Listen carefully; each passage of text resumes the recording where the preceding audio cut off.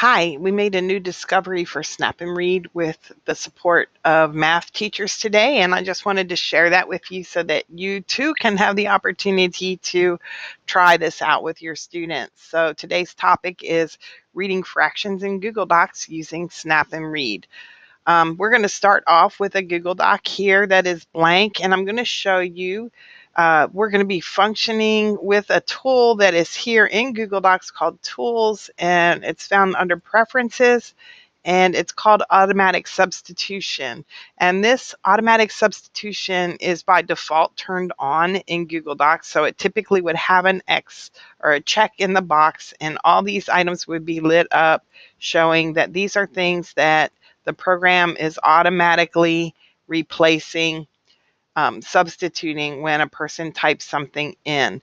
So what that looks like when you're in your Google Doc is if I type one fourth and then hit a space, it converts it to that fractured looking little symbol and um, it makes it easier for the program to represent that fraction. So there we go equals. Now, when we have that formula, if I use my text tool, I can turn it on and I can put it here and it's not going to read that because it doesn't see it as text. When I use my OCR tool, it also has not been able to read that. You can see that it just did that really quick kind of thing. Let's have it read it again and you TPs says TPs for some reason. I have no idea. But that's what happens when the automatic substitution is turned on. So now I'm going to go back to tools and preferences and I'm going to deselect automatic substitution and click OK. And now I'm going to write the very same thing and watch what happens as I'm typing. Because now when I hit 1 slash 4 space, it stays uh, 1 slash 4. And I'm going to type my plus sign, 3 slash 4 equals. And now watch what happens when Snap and Read reads it. 1 fourth plus 3 fourths equals.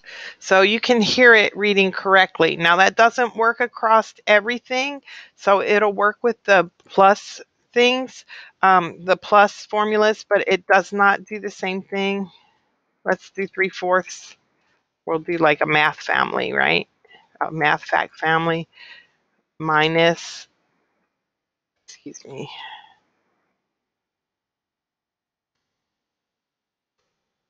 equals, and now let's try to read that one. 3 fourths, 1 fourth equals. So it does not read it as a formula. So don't expect it to have the ability to read formulas correctly. But with regards to the actual fractions, it is reading it correctly. And let's see what happens if I do point Oh, one. Let's see how it reads that decimal. 0.01. So you can see it does not um, say the 1 100th.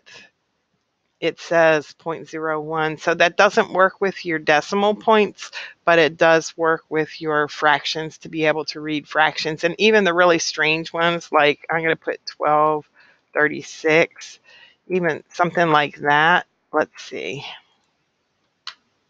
1236. And how about um, 1 and 3 eighths? Let's see what it does there. 1 and 3 eighths.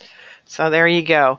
It's a crapshoot, but it is one that is taking us one step closer to being able to have some of the issues handled that y'all are talking about. So again, the way that you would get it to read that as a fraction is go into your Google Doc, turn off the preferences that are automatic substitution, click OK, and you should be good to go with that. So thank you for your attention.